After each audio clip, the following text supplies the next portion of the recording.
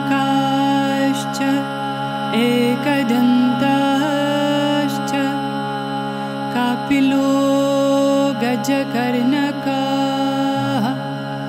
लम्बोदर्श्च विकतो विघ्ननाशो गणाधिपाः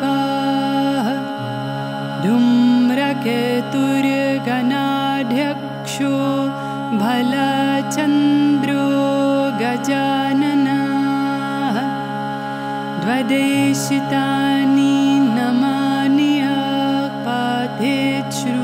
शृणुयादपि विद्यारम्भे विवाहे च प्रवेशनिर्गमताथा सङ्ग्रामे सङ्काते चैव विघ्नस्तास्य